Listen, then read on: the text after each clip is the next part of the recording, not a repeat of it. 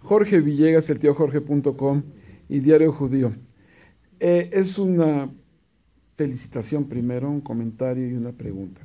La felicitación en el sentido de que a pesar de que Durango ha sido tierra de cine para los Estados Unidos, donde ellos filman mucho, filmaron mucho, eh, le hagan un reconocimiento al cine mexicano. Eso es increíble, porque la gran mayoría de los festivales, si no es que todos los demás, es como la fiesta que vienen, bailan con las muchachas y se las llevan.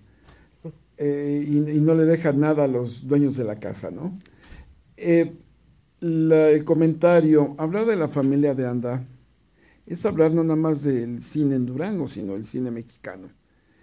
Eh, me dio mucho gusto que al final hicieran un reconocimiento, más bien dicho, un recuerdo muy pequeño a uno de sus miembros, que es Agustín, que dejó una película, creo que cuando murió todavía no se estrenaba, La cárcel de Cananea, que de veras, una película donde deja una huella de actuación porque no se apoya en escenarios o muy poco, sino más bien se apoya en un diálogo constante toda esa película, que era muy raro en esa época, y pues que Dios lo tenga en su gloria y que, y que haya dejado un legado en toda la familia y en el cine mexicano.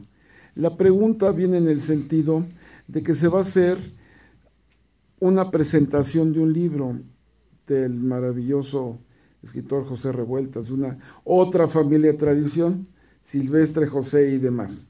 Y ahora por ahí un jazzista también. Pero bueno, sí. Eh, el caso está que hace dos años, en el último festival, que no, el más reciente, porque no es el último, el Festival de Acapulco, se hizo una presentación de un libro llamado Durango Tierra de Filmaciones. Y no sé si valiera la pena que lo relancen.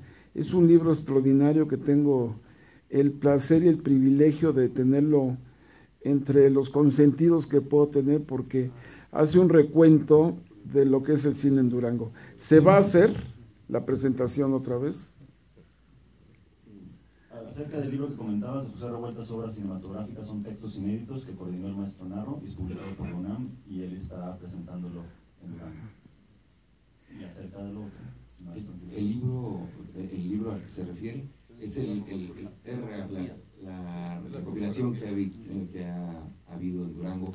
Se ha presentado varias veces ya en, Durango y la, la Secretaría de Turismo lo ha puesto a disposición. Sí, hicimos una, una coedición con ellos. Eh, es la historia del lenguaje en Durango desde Pluma Blanca a, la fecha. Son, son, las fichas y lo hizo Alfonso Sarano Maturín. Tenemos relación con él y se sigue en, en estanterías y en turismo y en cultura lo tenemos y lo estamos distribuyendo.